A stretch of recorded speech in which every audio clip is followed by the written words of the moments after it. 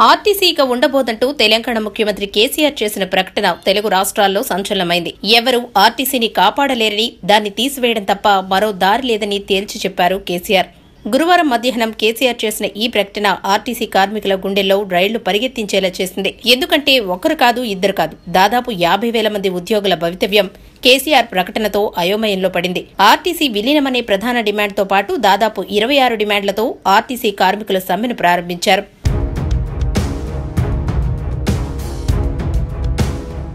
సమ్మెను సీరియస్గా తీసుకున్న సర్కార్ ప్రైవేట్ డ్రైవర్లను కండక్టర్లతో సర్వీసులను నడుపుతోంది. సమ్మె ఇరవై రోజులవుతున్నా ప్రభుత్వంలో ఎటువంటి చలనం లేకపోగా ఆర్టీసీగా ఉండదు అనే ప్రకటన సాక్షాత్తు ముఖ్యమంత్రి నుంచి రావడం కార్మికులతో పాటు సామాన్య ప్రజానికాన్ని కూడా ఆశ్చర్యానికి గురిచేసింది. ప్రధానంగా యూనియన్లపైనే కేసీఆర్ ఆగ్రహం వ్యక్తం చేశారు. యూనియన్ల వల్లే కార్మికుల జీవితాలు రోడ్డున పడడంతో పాటు నాశనమైపోతున్నాయని మండిపడ్డారు. అర్థం పర్థం లేని డిమాండ్లతో ప్రభుత్వాన్ని ఇబ్బంది పెట్టేందుకు యూనియన్లను ప్రయత్నించాయని ఆరోపించారు. ఆర్టీసీ కార్మిక సంఘం నేత అశ్వత్థామరెడ్డి టార్గెట్గా కేసీఆర్ మాట్లాడారనేది కాదనలేని సత్యం.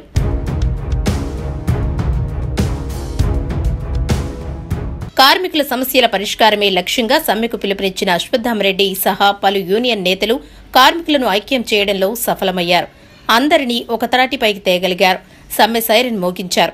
ఇంతవరకు బాగానే ఉన్నా గురువారం కేసీఆర్ ప్రకటన తర్వాత యూనియన్ల నుంచి ఎలాంటి సమాధానం రాలేదు. సహజంగా ప్రభుత్వం ఏదైనా కీలక నిర్ణయం తీసుకుంటే దాని ప్రభావాన్ని చవిచూడబోయే వ్యక్తులు స్పందిస్తుంటారు. అయితే ఇప్పటి వరకు ఆర్టీసీ యూనియన్ల నుంచి ఎలాంటి ప్రకటన రాలేదు. కనీసం ముఖ్యమంత్రి ప్రకటనను వ్యతిరేకిస్తూ ఒక ధర్నా లాంటిది కూడా చేయలేదు. ప్రస్తుతం యూనియన్ నేతల ఈ వ్యవహార తీరే చర్చనీయాంశమైంది. ఆర్టీసీ ఉండబోదని కేసీఆర్ ప్రకటనతో తేటతెలమైంది మరి ఆ సంస్థపై నడుస్తున్న యాభై వేల మంది కార్మికుల పరిస్థితి ఏంటి? వాళ్ళకు ఎలాంటి సెటిల్మెంట్ ఉంటుంది? అర్ధాంతరంగా సంస్థ మూసివేత ప్రకటనకు ప్రత్యామ్నాయంగా వారందరికీ ఏదైనా ఉపాధి చూపిస్తారా? లేదా కేవలం సెటిల్మెంట్ చేసి పంపిస్తారా? ఇలాంటి ఆసక్తికర ప్రశ్నలు ఉత్పన్నమవుతున్నాయి. ప్రభుత్వం ముంగిట కొన్ని ప్రత్యామ్నాయాలైతే కనిపిస్తున్నాయి. ఉద్యోగులందరినీ కాంట్రాక్ట్ పద్ధతిలో పని చేయించుకోవాలి అలా పని చేయించాలంటే ఆర్టీసీ సంస్థ ఉండాలి. లేదంటే ఆర్టీసీ అనే సంస్థను మూసివేసి కేవలం ప్రభుత్వమే పెద్దగా ప్రైవేటు బస్సులను అద్దెకు తీసుకొని కార్మికుల సేవలను ప్రభుత్వం వినియోగించుకోవాలి. మరి వీటిలో కేసీఆర్ ఏ ఆప్షన్ను ఎంచుకుంటారో చూడాలి.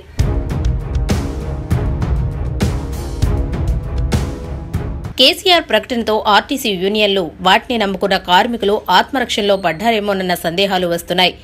ఇప్పటికిప్పుడు తీసివేస్తే భవిష్యత్తు ఏంటనే మీమాంసలో పడినట్లు తెలుస్తోంది. సమ్మె ఉపసంహరణ తప్ప మరో దారి కనిపించడం లేదనే భావనలో ఉన్నారని వాదనలు వినిపిస్తున్నాయి.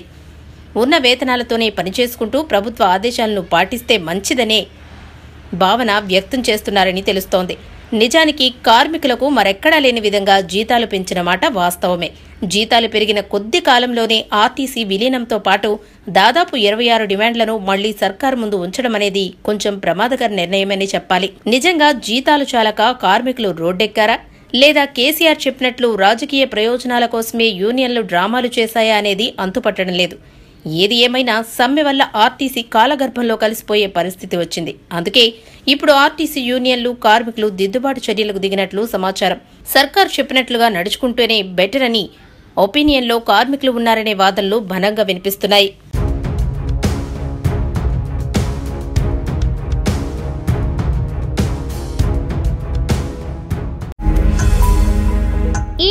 కనుక మీకు నచ్చినట్లయితే లైక్ చేయండి షేర్ చేయండి. మరిన్ని వీడియోస్ కోసం మా ఛానల్ను సబ్స్క్రైబ్ చేయండి.